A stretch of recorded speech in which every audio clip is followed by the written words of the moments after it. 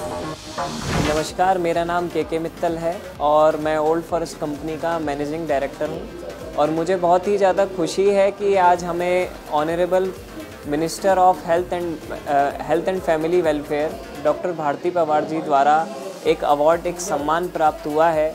और मैं PTC news channel का भी बहुत बहुत धन्यवाद करता हूँ कि इनके द्वारा ही ये आज मेडिकल एक्सीलेंस अवार्ड हुआ है और मुझे बहुत खुशी है कि हम इसका पार्ट ले पाए हैं नॉमिनेट हो पाए हैं।